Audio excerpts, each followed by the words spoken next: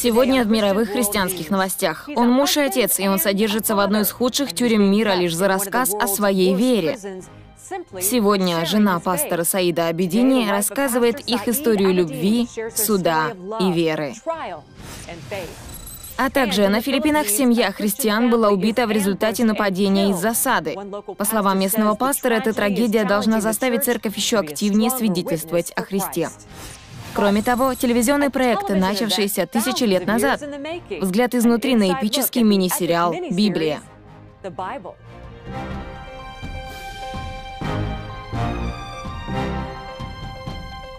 Муж и отец томится в иранской тюрьме, тогда как семья молится о его освобождении. Здравствуйте, я Венди Гриффит, Джордж Томас в командировке. Это похоже на сюжет фильма. Иранский пастор Саид Абедини приговорен к восьми годам в одной из худших тюрем Ирана. Его единственное преступление — распространение Евангелия Иисуса Христа. Но вся эта история слишком реальна для его жены и семьи, которые страдают вместе с Саидом и отчаянно борются за его освобождение. История их любви началась в Иране. В 2001 году Нагмех, еще в детстве принявшая американское гражданство, поверила, что Бог побуждает ее вернуться на свою родину, чтобы служить мусульманкам. Там она и познакомилась с Саидом Абедини. Этот молодой проповедник вел богослужение в одной из подпольных домашних церквей. За что вы его полюбили? Думаю, за его страстность. Девушка, я всегда молилась, Господи, я не могу выйти замуж за посредственность. Я хочу стать женой того, кто страстно любит Тебя. Но я и подумать не могла, что Бог ответит на мои молитвы столь радикальным образом. Вскоре после этого они поженились в Иране. Их свадьба привлекла сотни доброжелателей и вызвала подозрения стражи исламской революции.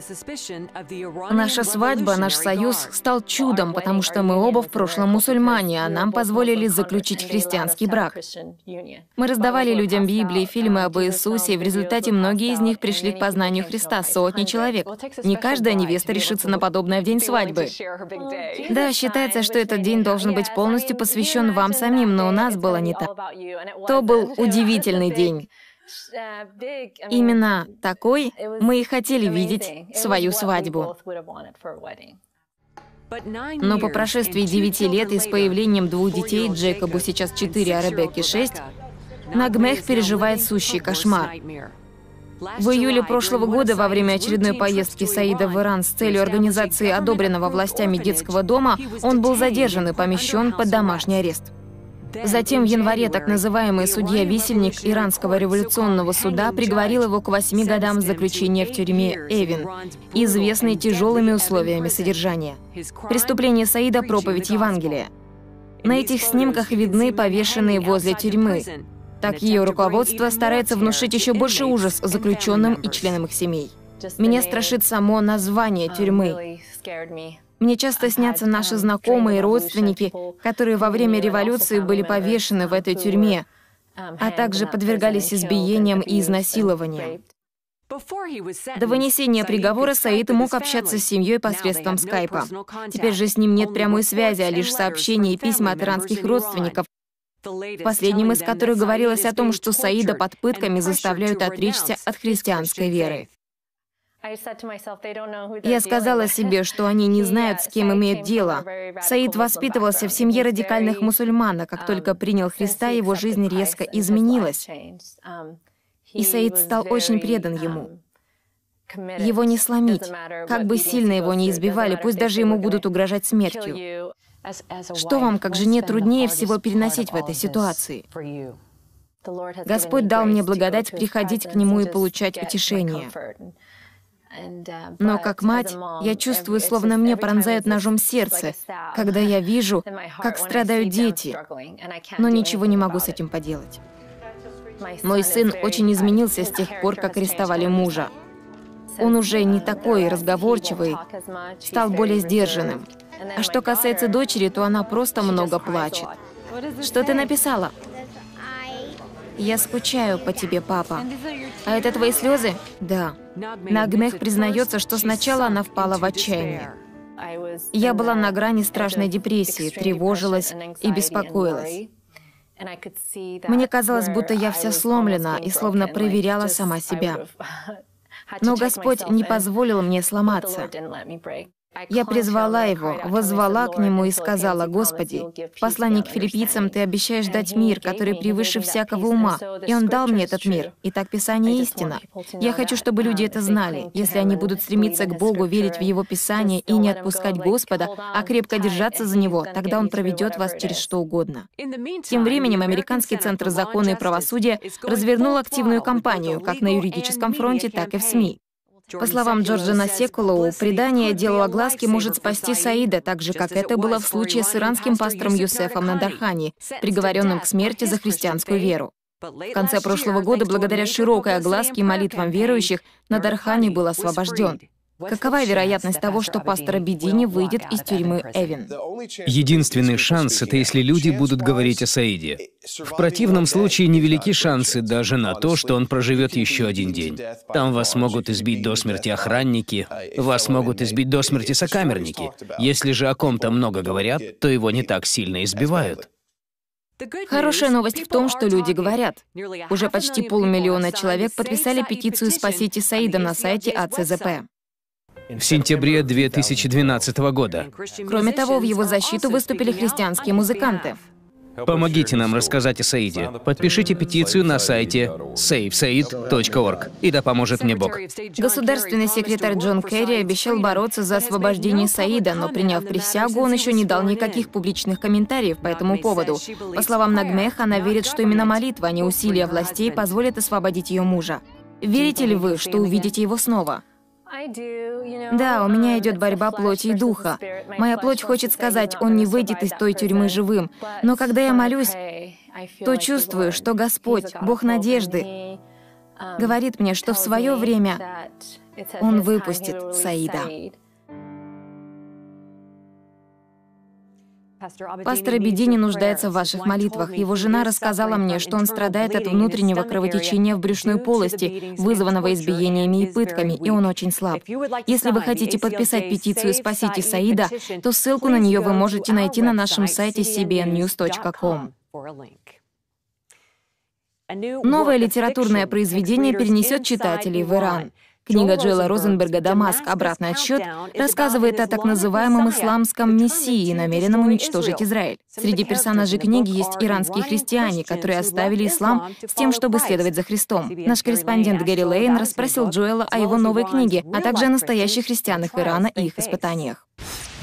Как живут там христиане? Что с ними происходит? Одной из целей моей книги было показать, что есть мусульмане, которые приходят к вере в Иисуса Христа, но происходит это при необычных обстоятельствах. Однако это не фантастика, это реальность. Случай с пастором Абедини указывает на то, что иранский режим прибегает к очень серьезным мерам, направленным не против христиан вообще, а в первую очередь против пасторов. Власти полагают, что если они смогут разрушить систему домашних церквей, то им удастся разорвать и уничтожить связи между верующими и как бы задушить христианство. Но народу Ирана Господь показывает, что шиитский радикальный ислам в чистом виде не даст ответов на их вопросы. Полагаю, что это создает идеальные условия для того, чтобы мусульмане стали в каком-то другом месте искать надежду и истину. В результате многие из них приходят ко Христу. Так что нам нужно... Господь никогда не говорил нам молиться о том, чтобы люди не подвергались преследованиям, хотя я и молюсь об этом. Но главное — молиться о том, чтобы у них было дерзновение, мужество и сила, и чтобы мы смогли помогать им. Одним из главных героев вашей книги «Дамаск. Обратный отсчет» является Махди, 12-й имам. Кто такой двенадцатый имам и почему это нас должно волновать? Двенадцатый имам для мусульман-шиитов является своего рода мессией. Сам Иисус сказал в 24 главе Евангелия от Матфея, что в последние дни восстанут лже-мессии. Итак, шииты уверены, что в ближайшее время кто-то явится, чтобы править миром. Считаете ли вы, что сегодня он жив? Я не знаю, явится ли этот человек, но думаю, да, возможно, в ближайшие месяцы или годы мы увидим, как возникнет тот, кто назовется мессией мессией шиитов, и его примут как такового. Что это будет означать для Ближнего Востока? Хаос, резню, кровопролитие, усиление гонений. Все же Слово Божье является суверенным. Если Господь допустит приход ложного Мессии, то Он также будет действовать и Духом Своим, чтобы привести людей в Его Царство, и Он уже это делает. Дамаск почти в руинах. Согласно пророчеству в 17 главе книги Исаии, он будет в руинах. Неужели сегодня мы видим исполнение этого пророчества? Об этом еще рано говорить, Гэри, но мы видим распад Сирии как государства. На сегодня в Сирии погибло уже около 90 тысяч человек. Миллион бездомных беженцев. Миллион беженцев, и это только зарегистрированных и подсчитанных. Многие другие находятся в бегах. Многие из них христиане. Что мы можем сделать для них? Что мы должны делать? Молиться о том, чтобы у них прибавилось силы мужества. Но мы не можем только молиться о них. Мы должны обеспечить им поддержку, доставлять им пищу, одежду, медикаменты. Все, чем мы можем укрепить наших братьев и сестер, с тем, чтобы они смогли позаботиться о себе и при этом оставаться светом в той кромешной тьме. И мы должны молиться о том, чтобы при помощи спутникового телевидения и радио в стране провозглашалось Евангелие, распространялись Библии, показывался фильм «Иисус» и так далее. Таким образом, упование на Христа будет распространяться в то время, когда люди более готовы слушать о нем и нуждаться в нем больше, чем когда-либо ранее. Итак, Джоэл Розенберг, удивительная книга, третья из серии «Дамаск. Обратный отсчет». Спасибо за участие в нашей программе. Будьте благословенны. Спасибо, Гэри. Тем временем в Сирии христиане сталкиваются с трудным выбором, когда их деревни захватывают исламские повстанцы. Недавно группа мусульман захватила христианское село Якубия. Многие жители бежали, оставив пустые дома, поврежденные церкви и реликвии. По словам некоторых из них, они не вернутся, пока не увидят, как мусульманский командир относится к меньшинствам. Он же говорит, что будет относиться справедливо ко всем, но, как и многие другие повстанцы, в своих решениях он руководствуется исламским правом. Сообщается о том, что мусульманские повстанцы убивают христиан и похищают их с целью выкупа. Американский конгрессмен заявил, что помощь Египту должна быть связана с тем, как в этой стране обращаются с христианами. Фрэнк Вулф только что вернулся с Ближнего Востока. Там он встретился с лидерами коптских христиан, которые сказали ему, что администрация Обамы оказывает поддержку братьям-мусульманам, не учитывая гонений, которым подвергаются копты. Страну пытаются покинуть многие христиане. По словам Вулфа, однажды на Ближнем Востоке может вообще не остаться христиан. Венесуэльские христиане размышляют о своем будущем после того, как на этой неделе от рака скончался президент Уго Чавес. Во время долгой борьбы Чавеса с раком католики и протестанты устраивали молитвенные бдения за президента. Хотя при Чавесе отношения между государством и церковью часто были напряженными, глава Евангельского совета Венесуэлы выразил оптимизм по поводу будущего. Мы ожидаем, что сможем продолжить свою деятельность, а также каким-то образом участвовать в избирательном процессе в качестве граждан страны. Нашему обществу нужны перемены, и мы должны верить, что Господь изменит все общество, а не только политическую или идеологическую систему. Олсон и другие евангельские лидеры призвали к единству и спокойствию, тогда как крайне поляризованный электорат готовится решить, кто возглавит Венесуэлу после Чавеса. Бессмысленное убийство пастора и его семьи всколыхнули христианскую общину на юге Филиппин. Как сообщает Люсиль Талусон, христиане как никогда полны решимости делиться Евангелием в этом преимущественно мусульманском регионе. В окруженном рисовыми полями городе Исулан слышны песни поклонения. Это местные христиане прощаются с пастором Рэем де Барба и его семьей.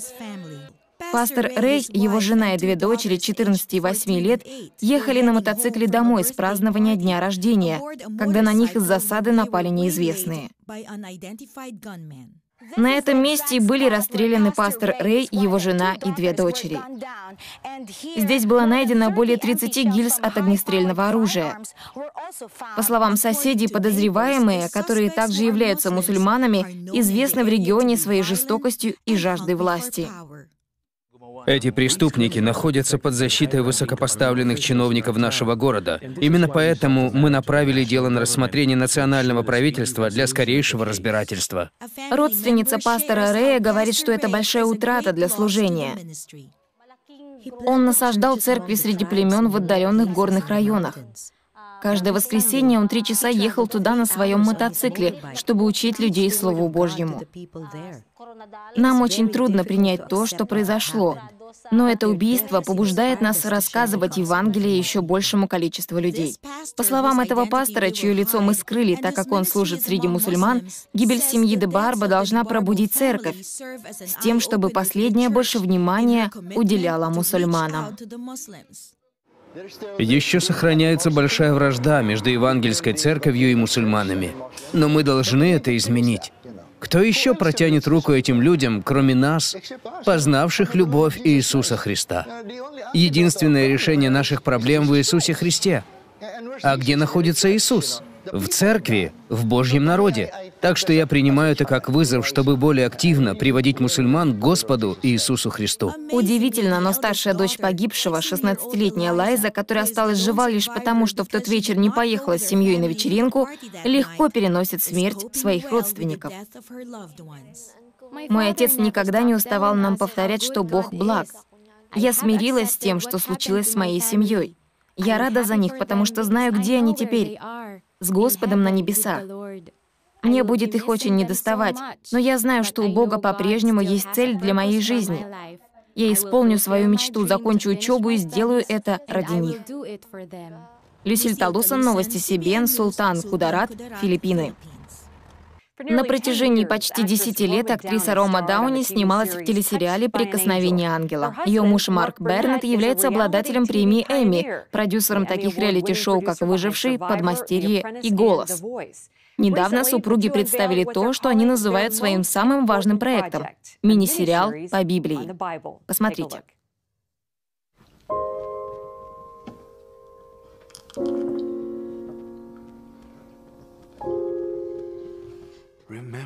«Сие творите в мое воспоминание. Я иду к Отцу, но всегда буду с вами».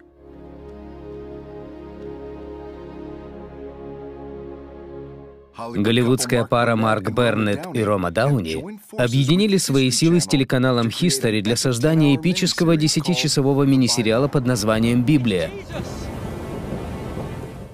Приступая к проекту такого масштаба и такой важности, как вы думали втиснуть всю Библию в 10 часов?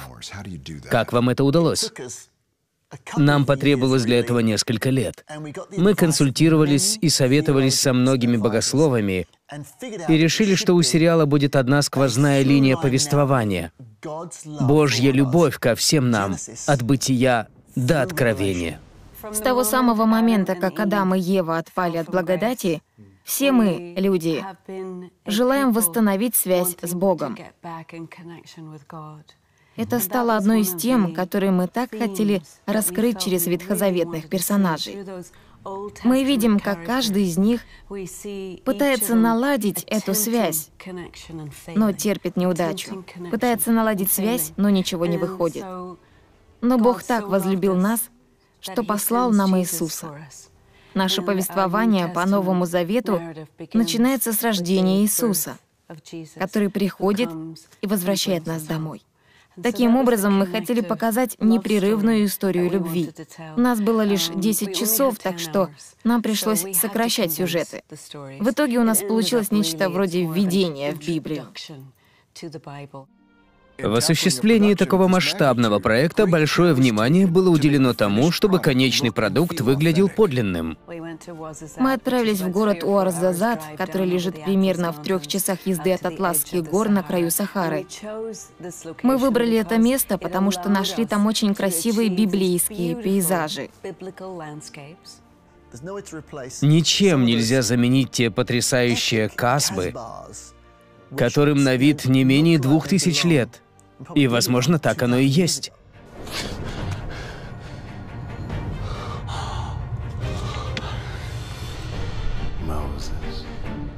Мы хотим, чтобы Библия ожила для нового поколения при помощи свежих визуальных образов. Для этого мы привлекли лучших специалистов. У нас была та же команда компьютерной графики, которая получила Оскара за создание спецэффектов для фильма «Гладиатор». Португальский актер Диого Маргада играет роль Иисуса Христа.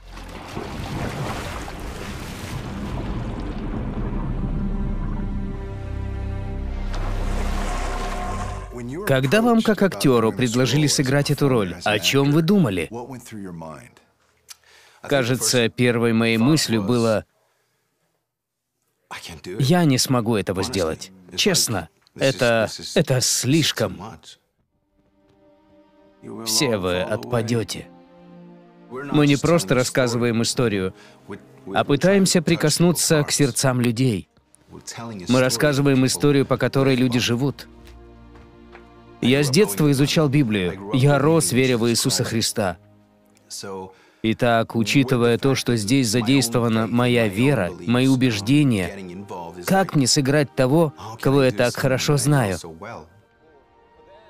Как нам поступать? Показывать то, что людям хорошо известно, или исходить из собственных переживаний? Полагаю, я старался брать немного и того, и другого. После многолетней успешной работы в Голливуде, Марк и Рома говорят, что этот проект является одним из самых значительных, над которыми им довелось работать. Этот сериал такой человечный, душевный и красивый, и весь он пронизан верой, пронизан Божьей любовью. Данный проект был осуществлен, чтобы прославить Бога. Великолепно. Мини-сериал «Библия» будет выходить в эфир по воскресеньям в 8 часов вечера по восточному времени на канале History.